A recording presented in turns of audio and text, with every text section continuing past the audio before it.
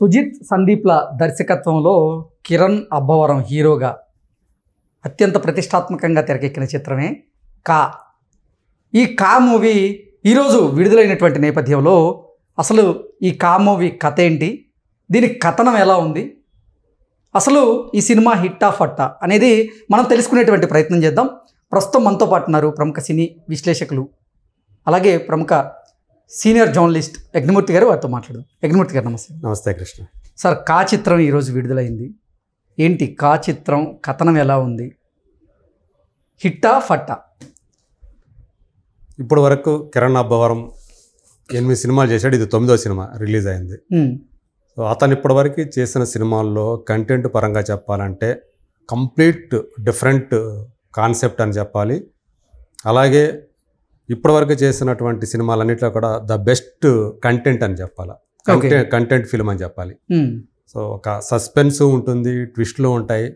దాన్ని ఒక typical screen play తోటి వాళ్ళిద్దరూ కూడా దర్శకద్వయం సుజిత్ సందీప్. సో వాళ్ళు కా అంటే అసలు ఏంటి?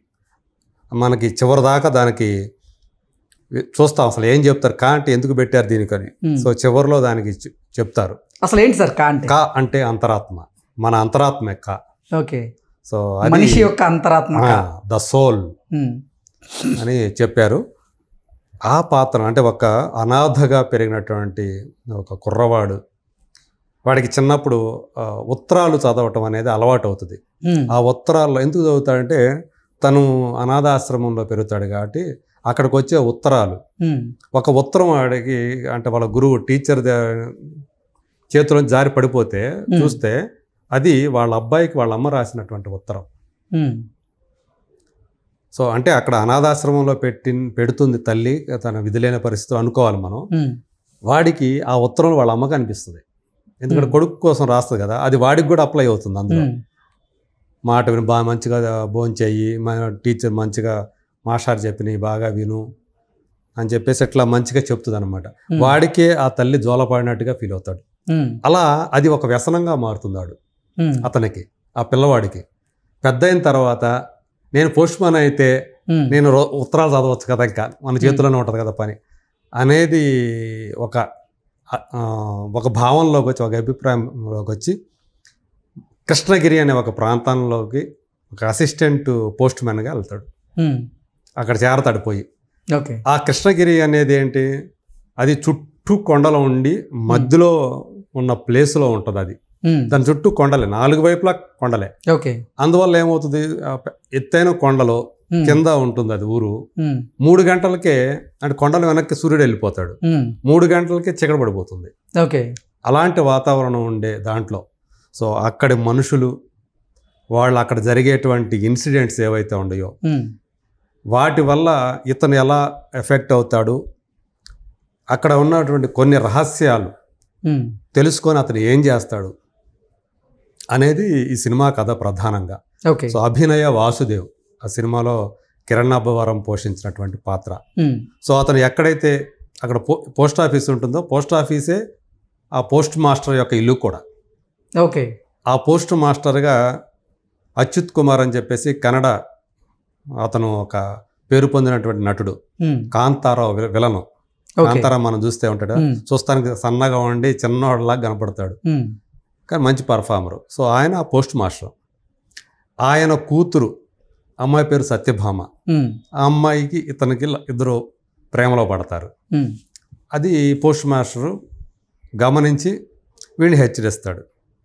కుక్క కుక్కగానే ఉండాలి. అది దాని స్థాయి తెలుసుకోవాలి అన్నట్టు ఒక ఇతనికి ఒక కుక్క ఉంటుంది హీరోకి.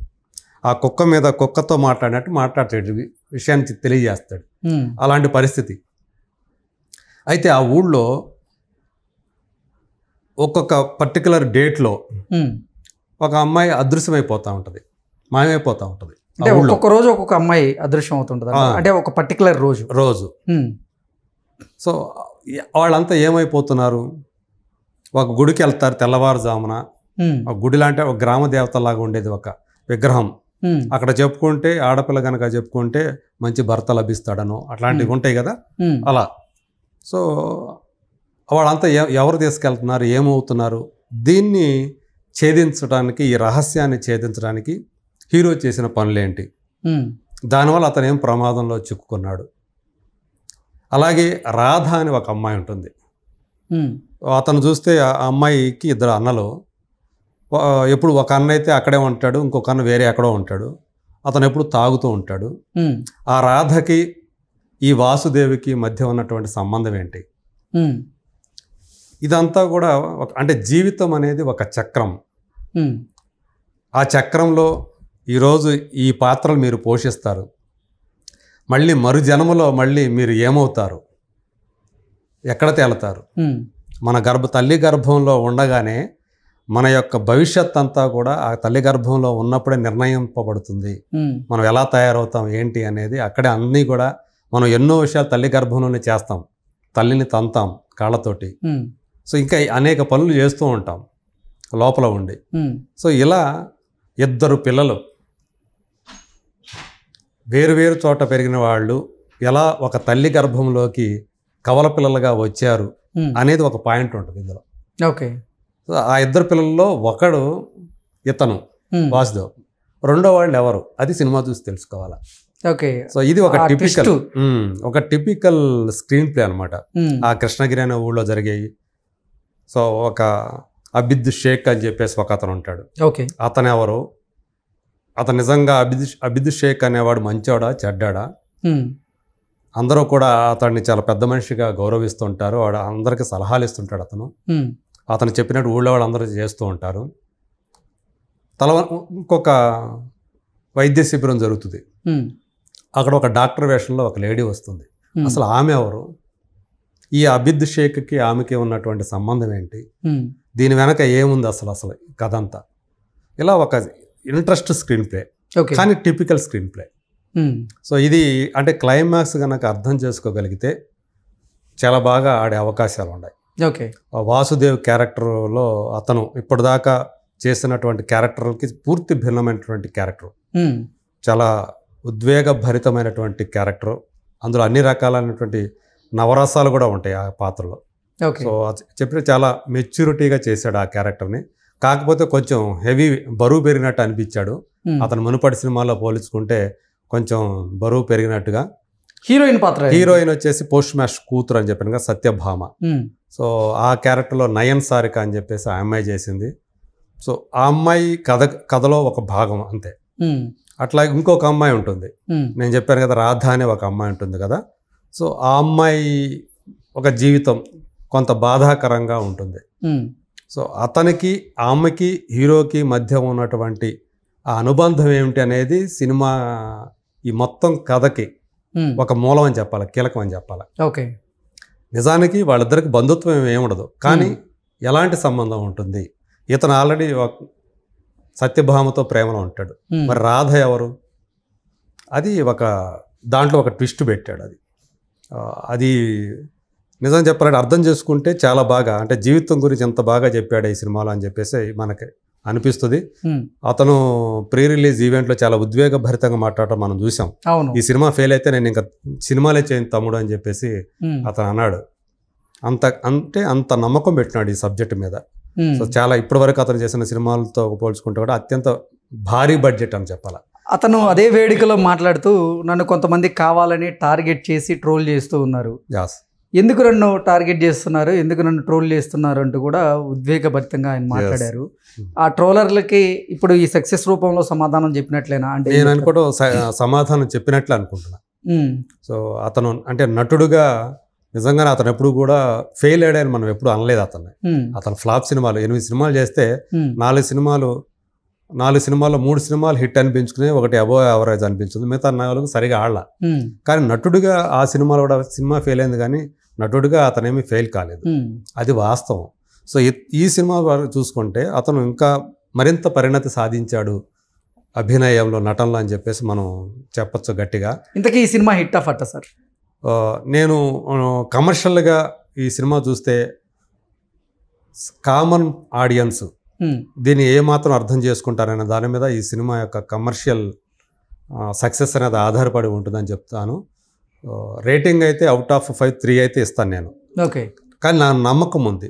సో నెమ్మదిగా ఇది మౌత్ టాక్ మీద నిలబడి ఇది మళ్ళీ ఓటీటీల్లో కంటే కూడా థియేటర్లో చూసి ఆ ఎక్స్పీరియన్స్ చెందాల్సినటువంటి సినిమా. ఓకే. ఖచ్చితంగా థియేటర్లోనే చూడాల్సిన సినిమాగా నేను చెప్తాను కా అనే సినిమా.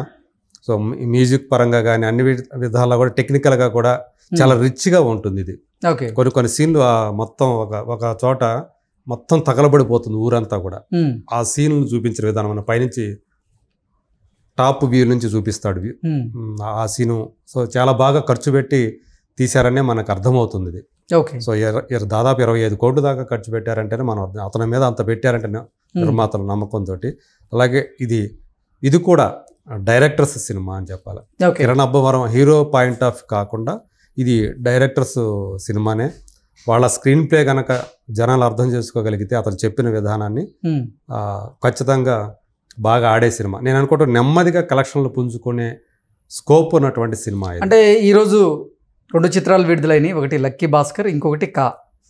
రెండు కూడా బాగున్నాయని చెప్తున్నారు. కాబట్టి ఇక అసలు ఆర్థికంగా కూడా ఈ రెండు సినిమాలు లాభాల బాటలో పయనించే అవకాశం అయితే ఉందంటారు. ఖచ్చితంగా ఉంది. లక్కీ భాస్కర్ అయితే అది పక్కా కమర్షియల్ సినిమా.